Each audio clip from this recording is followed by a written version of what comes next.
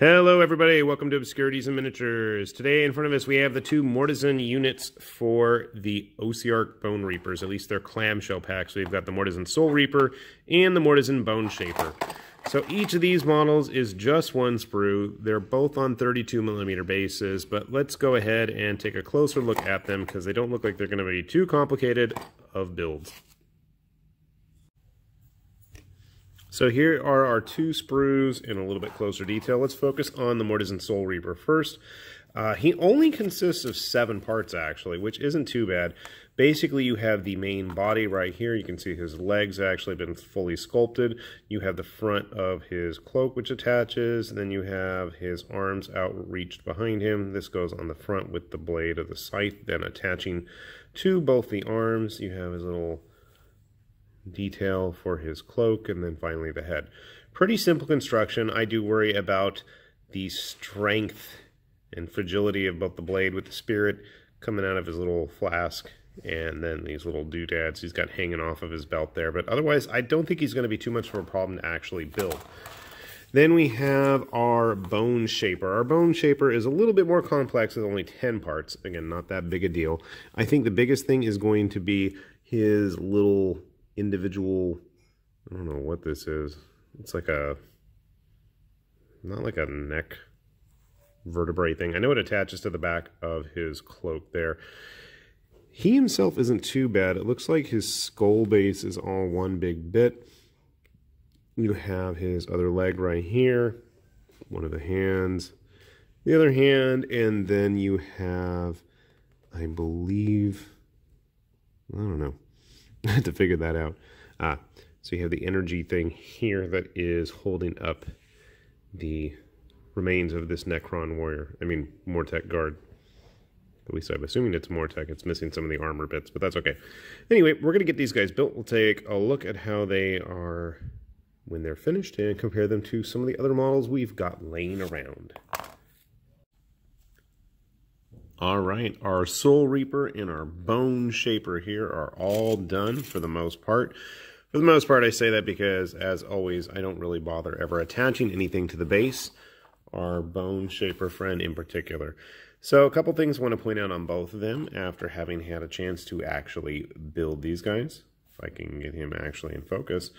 Uh, this weird energy tendril thing he's got going on actually connects to his base. There's a little slot for it, which I couldn't figure out at first. And I did have a little bit of trouble trying to figure out how to get his spine attachment thing from his armor to the back of his head. It just didn't really want to cooperate.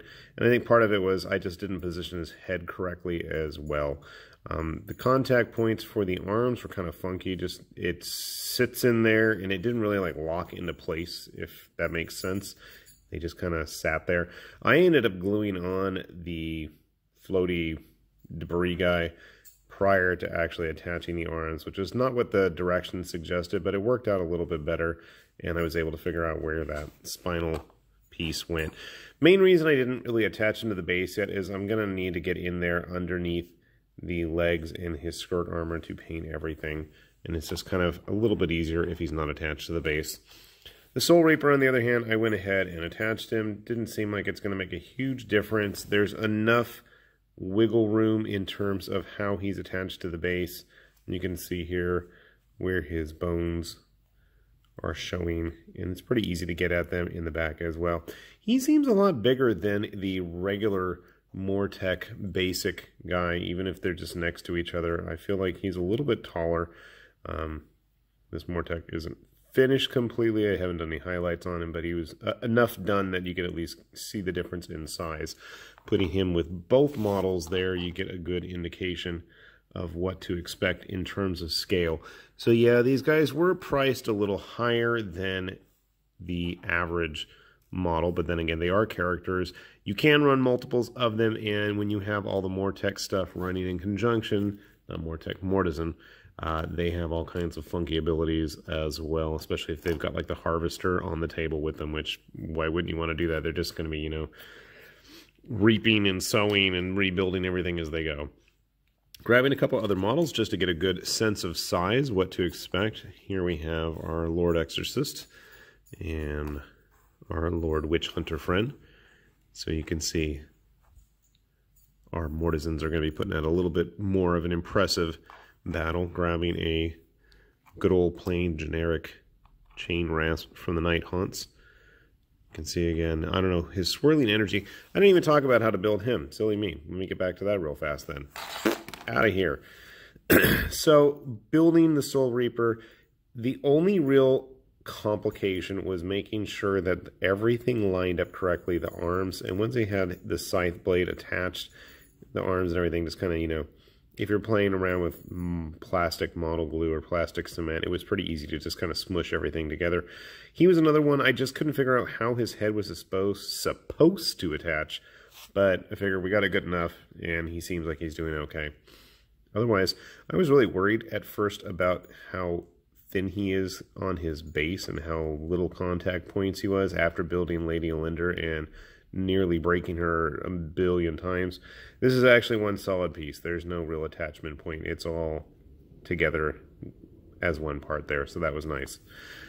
Let's see, any other models we have laying around? I thought for some reason to me, he reminds me of like a Mortek, not a Mortek, a Cryptek or something along those lines. So if you wanted to have him as a Necron of some sort, I don't know why, but that's just what it reminded me of. Getting a couple other models in there for scale.